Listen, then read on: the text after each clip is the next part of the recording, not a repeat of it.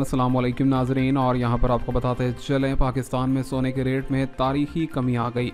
एक ही रोज़ के दौरान में सोना सात हज़ार रुपये तक फ़ी तोला कम हो गया। नई कीमतें क्या हैं, बताते हैं इस अपडेट में।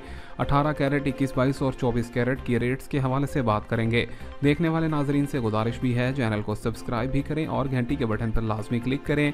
पाकिस्तान में सोने की नई कीमत सामने आई तो ख़रीदारों का रश दोबारा से बढ़ गया। चौबीस कैरेट की कीमत आज दो लाख दो हज़ार रुपये पर जा पहुँची।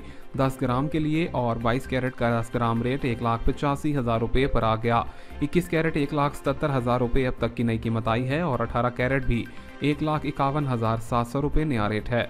बात करते चले फ़ी तोला सोने की तो 18 कैरेट का रेट एक लाख सतर हज़ार रुपये, इक्कीस कैरेट दो लाख छः हज़ार पाँच सौ रुपये और बाईस कैरेट दो लाख सोलह हज़ार तीन सौ रुपये नई कीमत आई है। चौबीस कैरेट के हवाले से दो लाख छत्तीस हज़ार रुपये तक कीमत कम हो गई। अगले चंद रोज़ के दौरान में कीमतों में मजीद भारी कमी से मुतलिक अपडेट जारी की गई है।